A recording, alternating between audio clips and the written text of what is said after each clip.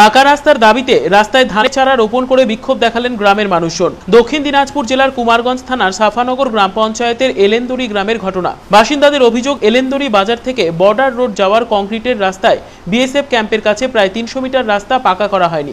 বর্ষার সময় তা চলাচলের অযোগ্য হয়ে পড়ে। এলাকার পঞ্চায়েত সদস্য থেকে শুরু করে প্রশাসনের কাছে বারবার সেই অংশটুকু পাকা করবার দাবি জানানো হলেও এখনও পর্যন্ত কাজের কাজ কিছুই হয়নি বলে অভিযোগ। শুধুমাত্র মিলেছে প্রতিশ্রুতি। সে কারণেই বাধ্য হয়ে আজ গ্রামবাসীরা সেই কাঁচা রাস্তার মধ্যে ধানের চারা রোপণ করে বিক্ষোভ দেখান। রাস্তার বেহাল অবস্থার কারণে গ্রামে গাড়ি ঢুকতে পারে না বলে দাবি তাদের। এমনি সময় যেমন তেমন বর্ষাকালে মরণ ফাঁদে পরিণত হয় এই রাস্তা। ছাত্রছাত্রী থেকে শুরু করে রাত বিরেতে রোগী নিয়ে যাওয়ার ক্ষেত্রে চরম বেগ পেতে হয় বলে অভিযোগ। এই গাড়ি যাতায়াতের অসুবিধা হয় মাঠে ধান চাষ করতে পারে ঠিক মতন অনেকগুলো লোক এদিক দিয়ে যাতায়াত করে।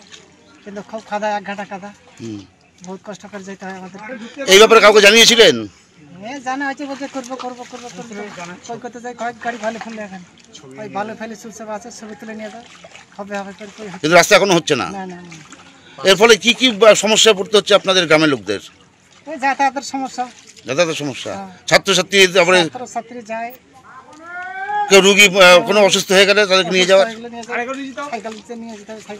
এক কথায় গ্রামে গাড়ি ঢুকতে পারে না এর জন্য? গ্রামবাসীদের দাবি খতিয়ে দেখার আশ্বাস দিয়েছে পঞ্চায়েত প্রশাসন। সুভাষ সরকারের রিপোর্ট কুলিক নিউজ কুমারগঞ্জ।